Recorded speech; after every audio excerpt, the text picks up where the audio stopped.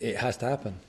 It can't possibly be played in the summertime, so unfortunately, there's going to be a lot of disruption all over Europe, especially with the, the Premier League. Um, we just got to get on with it. What can we do? Nothing. No, no. I mean, the the, the uh, decision was made. You know, if we if we're making a choice that they win the World Cup, they they uh, they won they won the uh, the vote. So um, so we've got to get on with it. You know, and it's impossible to play that in the in the summertime, but winter time is the only option. Thank you.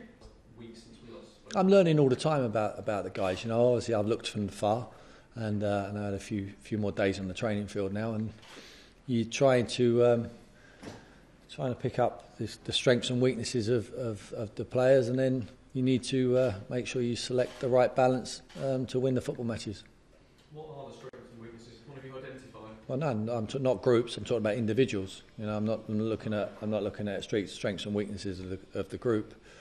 Um, I need to, but um, as individuals, I think we've got I've got to try and get the best out of them. I think, and that'll help the group collectively. You said it was a, when you, you thought when you took the job.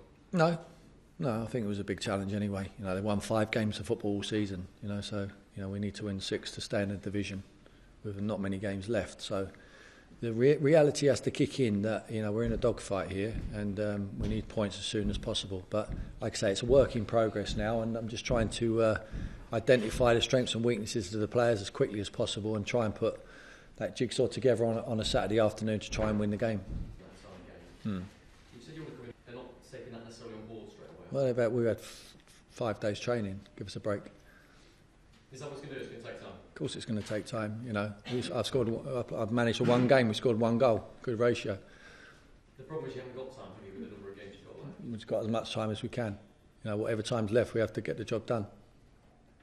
What do you say to the players? What did you say to them after the weekend? Um, well, they're obviously very disappointed. You know, they share the disappointment of. Uh, I hope they share the same disappointment as I had because I was very low, um, and um, they showed their disappointment to the to the fans. You know, they we need to uh, we need to go out and do it for ourselves. You know, and and then everyone, if we can get as many points as as possible, then you know we're gonna we're gonna foul trying.